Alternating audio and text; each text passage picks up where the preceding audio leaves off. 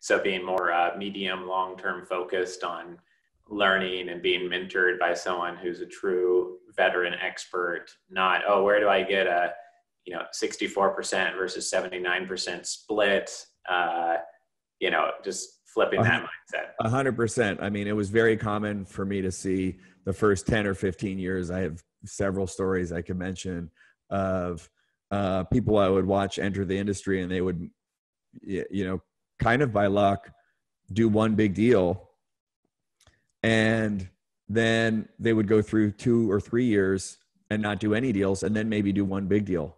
And you would say okay well in that three year period maybe averaged out they did pretty well. But if you come back to them seven years later compared to someone who during that same time did 40 or 50 deals now they have hundreds of clients and not to mention all the client uh, additional client relationships that they've made during those times um, they're their income, their contact base, um, their knowledge base. It's much more diversified. It's much more robust. So, um, you know, just like anything, it's really about playing the long game and not trying to uh, shortcut.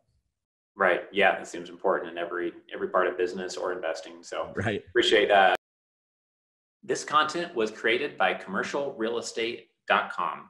Access our community, investment databases, training, and live events by visiting www.commercialrealestate.com.